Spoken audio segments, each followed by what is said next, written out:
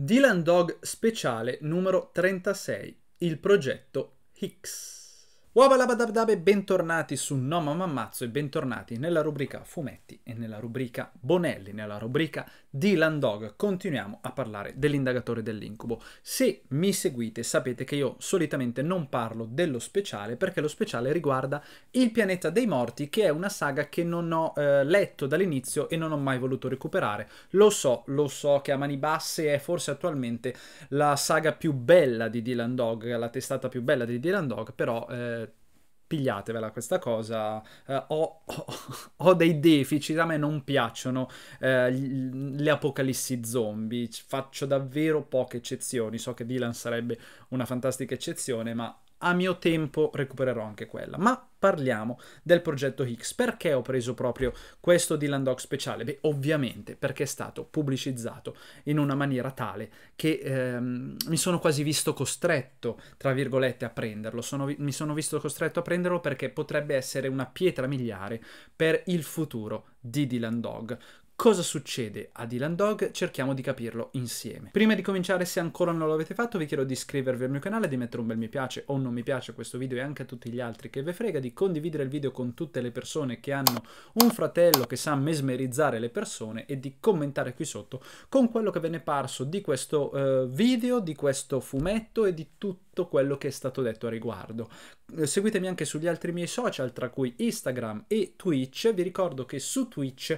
questa sera ci sarà una live insieme a Luca DJ, Pelati Fumetti, Curo del canale di Curo, dove appunto parleremo live di questa cosa. Parleremo dei Dylan Dog, eh, di questo speciale e dei futuri Dylan Dog che dovranno dare vita a, eh, al ritorno alle origini, mm,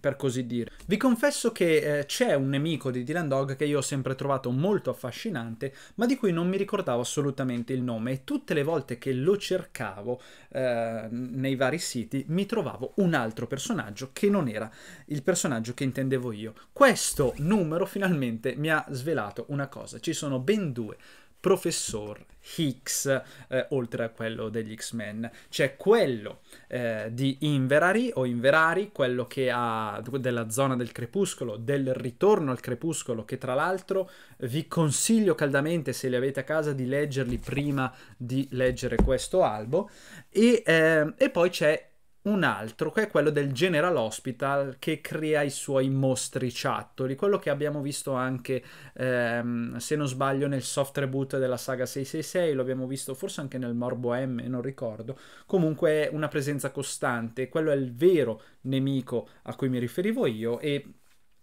ed è davvero un personaggio molto molto interessante. Si scopre da questo speciale che questi due Hicks hanno lo stesso cognome perché? Perché sono fratelli, seppur molto diversi, così diversi che uno in realtà è un fratello adottivo, perché scopriamo che eh, in realtà sono molto molto disturbati, eh, ognuno eh, a suo modo, uno ha subito le ingiustizie della seconda guerra mondiale, provenendo da una famiglia eh, ebrea, per questo che ha il cognome X, eh, X scritto H-I-C-K-S ma che si sente anche come X, come Malcolm X, cioè ha perso il suo cognome durante la guerra eh, per non farsi perseguitare in quanto ebreo, e mentre l'altro fratello che è stato adottato niente poco di meno è che il clone di uno scienziato nazista, quindi c'è anche questa, eh, diciamo, questa, mh, mm, questo amore e odio tra i due fratelli, amore perché sono fratelli e hanno moltissimo in comune e odio perché eh, ehm, uno è responsabile responsabile della, della persecuzione dell'altro. Questo fumetto è più la storia appunto di questi due fratelli e di quello che vogliono progettare insieme che non tanto una storia di Dylan Dog che però viene comunque coinvolto eh, in tutto questo ambaradam in un eh, numero che ti farà sentire ubriaco perché ci sono dei salti temporali senza spiegazione, una cosa che abbiamo visto anche nella zona del crepuscolo e eh, in Ritorno al crepuscolo, però qua eh, sembrano Mm, sono molto più forti, ti sembra davvero di aver pezzo, perso dei pezzi per strada, eh, ma è proprio una scelta eh, dell'autore.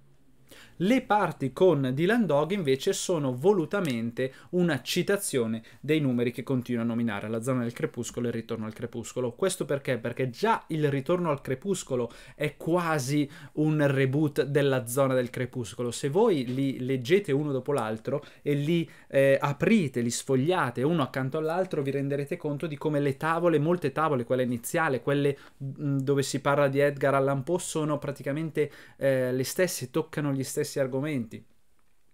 e eh, la seconda, la zona del crepuscolo, coinvolge il secondo Dottor X e la intreccia alla prima e qua finalmente viene spiegato tutto. Eh, viene reintrodotta anche di nuovo Opal, il personaggio di Opal, e si, ehm, si spiega che cosa ha a che fare tutto questo, eh, la presenza di nuovo di Opal con i due professori. In pratica scopriamo che il professor Hicks, quello nazista, eh, continua a cercare di clonare se stesso in mille modi con delle tecniche che eh, rasentano appunto il sovrannaturale, perché non, non c'è di mezzo solo la clonazione, ma anche la sua anima che va in altri corpi eh, e ricorda la sua stessa vita. Opal è una di questi, è una di questi cloni, non, non, è la stessa Opal della zona del crepuscolo, è un'altra Opal anche perché quella Opal aveva eh, l'aspetto di Morgana, grazie all'altro Dottor X, quello che la, le aveva ricostruito il volto. Tutti i cloni, infatti, del Dottor X, quello nazista, hanno questa malattia che finalmente viene chiamata con il suo nome, con un cancro degenerativo, ma che in realtà lui sa che è una degenerazione dovuta ai suoi esperimenti, che trasforma eh, lentamente le persone in, in, in, mostri, nel senso che si atrofizzano le carni e sembrano eh, degli, degli zombie. Di conseguenza, ed era per questo che il professorista professor Hicks, nazista, ha voluto mandare la prima Opal nella zona del crepuscolo a Inverari per farla curare dall'altro professor Hicks eh, e, farle, e, e, ridarle un aspetto umano. L'altro professor Hicks le ha dato poi l'aspetto di Morgana. Questo perché così? Perché a Sclavi gli girava il cazzo così in quel momento, ma narrativamente era perché eh, ha preso dai ricordi di Dylan un volto che lui potesse amare. Qui abbiamo una nuova Opal che ha un aspetto diametralmente, diametralmente opposto, non è mora, è bionda, non è mm, riccia, è liscia, non ricorda assolutamente eh, Morgana e va bene così. Finalmente i due fratelli Hicks si sono ritrovati e pare che stiano collaborando appunto per portare avanti il loro grande progetto, ovvero quello di mesmerizzare tutta l'umanità in modo che tutta uh, l'umanità, tutta la Terra sia una grande immensa zona del crepuscolo dove nessuno va avanti, nessuno vive, nessuno muore, ma tutti sono cristallizzati in un loop noiosissimo perché eh,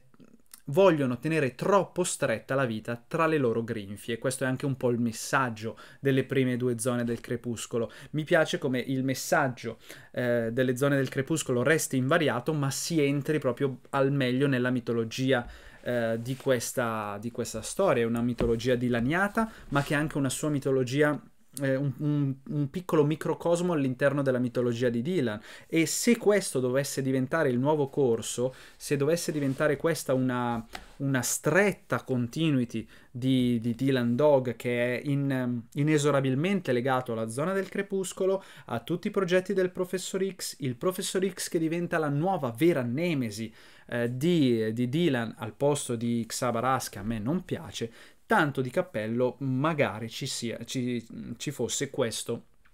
questo ritorno alle origini. Vi ricordo che poi alla fine della zona del crepuscolo o del ritorno al crepuscolo, non ricordo, adesso sto facendo confusione, Dylan Dog medesimo viene mesmerizzato. E ora è vero che, come dice Recchioni, ogni storia di, mh, mm, racconta di un Dylan Dog a sé, ogni storia di Dylan Dog è un universo a parte, quindi non è detto che il Dylan Dog del numero successivo sia ancora quello mesmerizzato, ma se vogliamo vederla invece eh, come una sorta di continuità, eh, il Dylan Dog che abbiamo letto dal ritorno al crepuscolo in poi, in teoria è un Dylan Dog mesmerizzato, un Dylan Dog non morto e sarebbe eh, e spiegherebbe molte cose, anche se